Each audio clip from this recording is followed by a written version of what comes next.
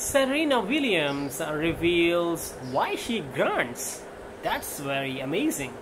Serena Williams has discussed her unusual grunting technique when playing sports. Uh, during an interview on the Hot Ones, the athlete discussed the distinctive noises uh, she will make while playing.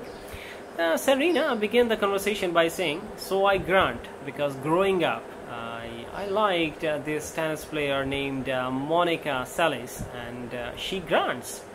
Uh, she went on to say that uh, her idol had a really cool grunt that was like grunt and I like that. It was like, um, that's so amazing, that's so cool.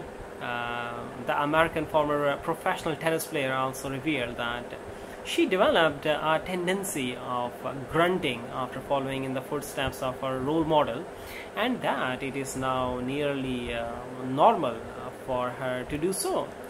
So I literally uh, grunted uh, because of her and uh, it just got normal and my grunt just uh, became a grunt. Um, I was, it was, it was really loud, she said. Serena even described her unusual approach as a form of breathing, saying, I grunt playing golf now. Um, after the conversation, she said, uh, it's like a part of my, uh, my life. Uh, others describe it as releasing and expelling air, and it's a unique manner to exhale air.